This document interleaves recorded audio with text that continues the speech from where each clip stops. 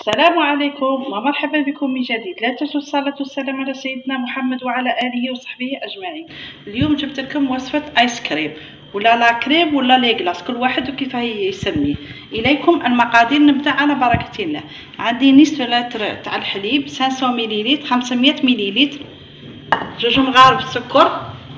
جوج مغارف مايزينا هي النشاء وكاس بودرة شانتيي نص كاس حليب. مغرف بودرة كاكاو و l'extrait تاع les fraises كل واحد وعلى حساب اللي يبغي le goût اللي يديره. كاين تاع banane كاين كل واحد و le goût تاعه. نبدأ على بركة الله. هنا درت 500 مليلتر تاع الحليب وندير زوج مغارف سكر وزوج مغارف مايزينا هي النشا. ونديرهم فوق الغاز. دوك نديرهم فوق الفرن. قد لي قد لي يتقالوا.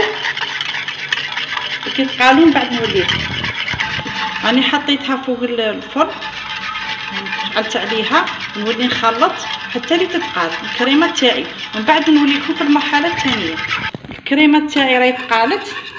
دوك نخلي نديرها في طبسي ونخليها تبرد. نحطها في طبسي ونخليها تبرد تماما في الثلاجة. ومن بعد نرجع لكم.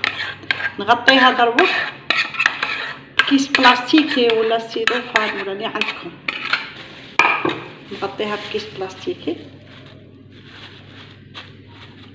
خليها تبرد تدفى شوية وندخلها للثلاجه من بعد نولي لكم نولي لكم المرحله الثانية تاعي راهي بردت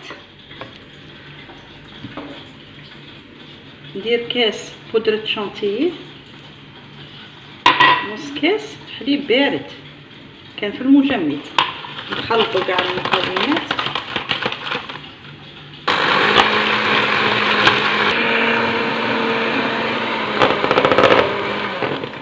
نفرغوا هاد الكريمة في لا كريم شونتي في بودرة شونتي نفرغوها كاع ونعاودو نخلطوا كاع المكونات.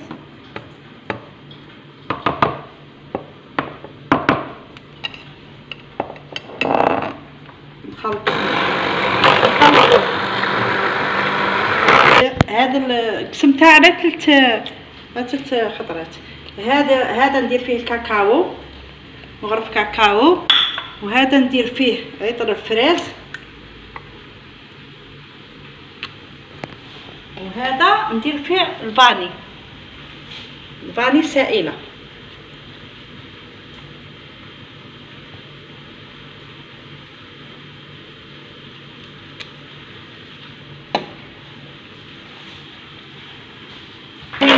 مليح تاع الكاكاو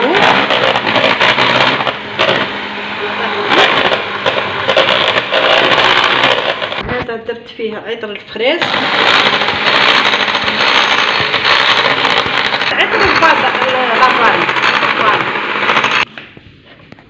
راني درتهم في علب ان شاء الله تجربوهم ويعجبوكم ودروك ندخلوهم للتل... في الكونجيلاتور حتى يتجمدوا ومن بعد نولي لكم ايس كريم ها راه برد ديره هنايا في ليكو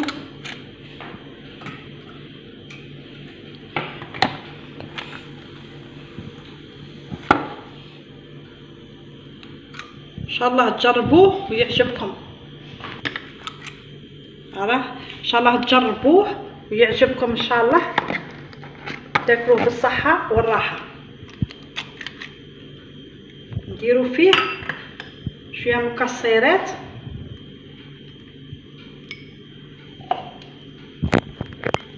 وراه عندي هنايا هاد الكريمه تتباع كراميل كريمه كراميل تتباع